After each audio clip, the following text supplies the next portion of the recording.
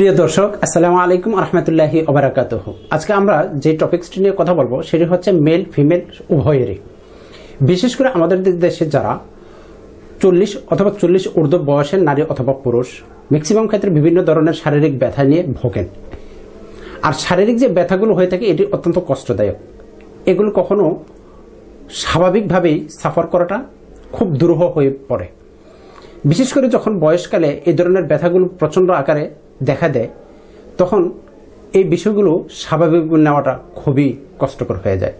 আর সেটা যদি হয়ে থাকে, বিশেষ করে ঘাড়ে, তাহলে তো কষ্টের কোনো শেষই নেই।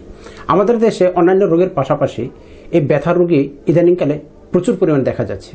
আর বিশেষ করে আমাদের হোমিও ডাক্তারদের কাছে যখন এই ধরনের পেশেন্ট আসে, তখন দেখা যায় যে প্রচুর পরিমাণ রিপোর্টগুলো নিয়ে আসে। সর্বপ্রথম যাদের এই ধরনের পেন সমস্যাগুলো হয়, কেউ কেউ আছে যে অত্যন্ত খামখেয়ালি করেন আবার কেউ কেউ আছে যে খুব গুরুত্ব দিয়ে বড় ডাক্তার দেখান, প্রফেসর দেখান। দ্রুত ভালো হওয়ার জন্য। নিশ্চয়ই এটা একটা ভালো বা ইতিবাচক দিক। কিন্তু যখন হাজারো চেষ্টা করার পরে, লক্ষ লক্ষ টাকা খরচ করার পরে যখন স্বাভাবিক পর্যায়ে আসে না, অথবা শুধু পেন কিলারের উপর খেয়ে যেতেই হয় যেতেই হয়, একটা পর্যায়ে যখন আনুষঙ্গিক অর্গানেও কোনো সমস্যার সৃষ্টি হয়, যেটাকে বলা হয় সাইড এফেক্টের কারণে। সেক্ষেত্রে কিন্তু রিস্কটা আরও বেড়ে যায়। এক হচ্ছে আপনার সমস্যা থেকেই গেল, দ্বিতীয় হচ্ছে আবার যদি আপনি এইটাকে নিরাময় করতে যায় সেটা পেন কিলার খেতে যান, সেক্ষেত্রে আদার্স অর্গানগুলোতে প্রবলেম হওয়ার একটা সম্ভাবনা থেকে যায়। তখন দেখা যায় যে একটা উভয় সংকটে পড়ে যায়, তারপরে এই হোমিও ডাক্তারদের শরণাপন্ন হন। কিন্তু আলটিমেটলি এটা যদি শুরুতেই হোমিও ডাক্তারদের কাছে আসা যায়, তাহলে কোনো ধরনের সাইড এফেক্ট ছাড়াই কন্টিনিউ ওষুধের মাধ্যমে একটা সময় একদম রুট লেভেল থেকে স্থায়ীভাবে ভালো হওয়া সম্ভব। তাই আজকে গাড়ের ব্যথা সম্পর্কে আমরা বিস্তারিত কারণ, লক্ষণ এবং আনুষঙ্গিক যে রিস্ক ফ্যাক্টরগুলো আছে, সেগুলো আপনাদের সামনে উপস্থাপন করব।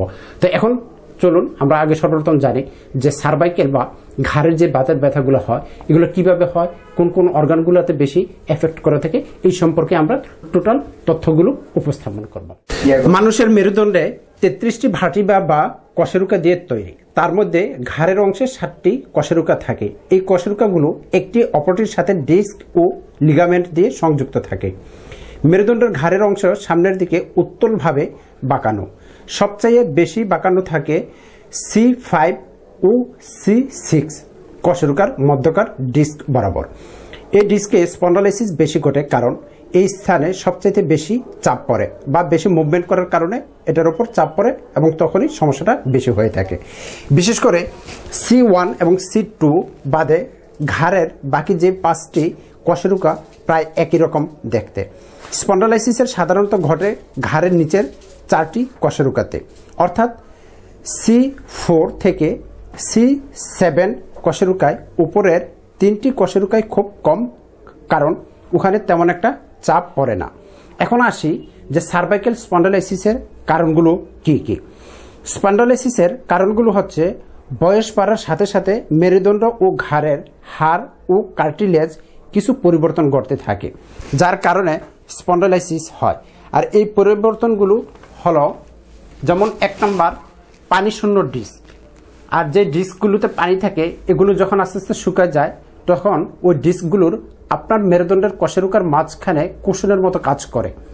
বিশেষ করে চল্লিশের ঊর্ধ্ব বয়সে বেশিরভাগ লোকের ডিস্কগুলো শুকাতে শুরু করে এবং কুচকে যায়। ফলে একটি হাড়ের সাথে আরেকটি হাড়ের ঘর্ষণ লাগে এবং তখন প্রচণ্ড পেন অনুভব করেন অথবা মারাত্মক কষ্ট ফিল করে থাকেন।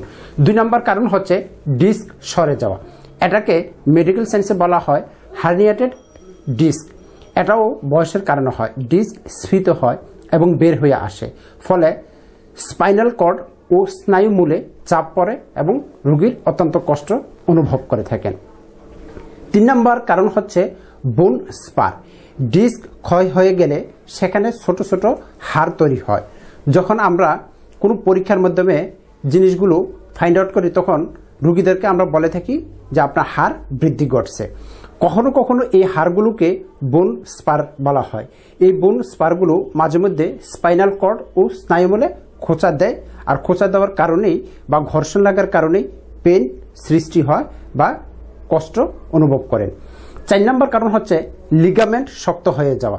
এই লিগামেন্ট যখন স্বাভাবিক অবস্থানে না থেকে শক্ত হয়ে যায়, তখন মুভমেন্ট করতে গেলে একটা আরেকটার আরেকটার সাথে ঘর্ষণ লাগে এবং তখন ব্যথা অনুভব হয়ে থাকে। তাহলে ব্যথাটা কীভাবে হয়? লিগামেন্টগুলো হলো টিস্যু দিয়ে তৈরি কর যা একটি হাড়কে আরেকটি হাড়ের সাথে সংযুক্ত করে। বয়স বাড়লে মেরুদণ্ডের লিগামেন্টগুলো শক্ত হয়ে যায় ও চুন জমে, ফলে ঘাড়ের নমনীয়তা কমে যায় আর তখনই আস্তে আস্তে এই কষ্টগুলো বাড়তে থাকে বা লক্ষণগুলো প্রকাশ পায়। এখন আসি যে সার্ভাইকেল স্পন্ডালাইসিসের লক্ষণ বা উপসর্গগুলো কি কি? এক নম্বর উপসর্গ হচ্ছে ঘাড়ের ব্যথা হওয়া, দুই নম্বর উপসর্গ হচ্ছে ঘাড়ের ব্যথা, অনেক সময় হাতে ছড়িয়ে পড়া, তিন নম্বর হচ্ছে ঘাড় শক্ত হয়ে যাওয়া এবং ঘাড় ঘুরাতে না পারা। আর ঘুরাতে গেলে বা পেছনের দিকে মুখ করতে গেলে ব্যথা বেড়ে যাওয়া। চার নম্বর লক্ষণ হচ্ছে ঘাড়ে ব্যথাসহ হাতের আঙ্গুল ঝিনঝিন করা, ঘাড়ে ব্যথাসহ হাত বা হাতের আঙ্গুলে অবশ অনুভূতি হওয়া। পাঁচ নম্বর লক্ষণ হচ্ছে ঘাড়ের ব্যথা, মাঝে মধ্যে কাঁধে বা মাথার পেছনের দিকে স্প্রেড করা বা ছড়িয়ে যাওয়া। এগুলো হচ্ছে স্পেসিফিক সার্ভাইকাল স্পন্ডালাইসিসের লক্ষণ। এখন আসি যে যাদের সার্ভাইকাল স্পন্ডালাইসিস হয়ে থাকে, তাদেরকে কি কি সতর্কতা অবলম্বন করতে হবে? যদি সতর্কতা অবলম্বন নাই করে, তাহলে এই প্রবলেমগুলো হওয়ার সম্ভাবনা বা পসিবিলিটি বেশি হয়ে থাকে। যেমন প্রথম ঝুঁকিপূর্ণ বিষয়টাই হচ্ছে বয়স। বয়স বাড়ার সাথে সাথে সার্ভাইকাল স্পন্ডালাইসিস হওয়া স্বাভাবিক। বছরের পর বছর অতিক্রান্ত হতে থাকলে মেরুদণ্ডের ডিস্কগুলো পানিশূন্য হতে থাকে এবং কুচকে যেতে থাকে। আরেকটা হচ্ছে পেশাগত বিষয়। কিছু কিছু কাজে ঘাড়ের উপর অতিরিক্ত চাপ পড়ে। এর মধ্যে রয়েছে বারবার ঘাড় ঘোরানো, ঘাড় স্বাভাবিক অবস্থায় না রাখা কিংবা মাথায় অতিরিক্ত বোঝা অথবা কাজের বোঝা চাপানো। আরেকটা হচ্ছে ঘাড়ে আঘাত পাওয়া। আগে ঘাড়ে আঘাত পেলে সার্ভাইকেল স্পন্ডালাইসিসের ঝুঁকি অনেক বেশি বেড়ে যায়। আরেকটা হচ্ছে বংশগত যেই ঝুঁকিপূর্ণ বিষয়। কিছু কিছু পরিবারে সময়ের সাথে সাথে এসব পরিবর্তন খুব বেশি ঘটে। আবার কিছু কিছু পরিবারে পরিবর্তন ঘটে কম। এতে আমাদেরকে সেটাই ধরে নিতে।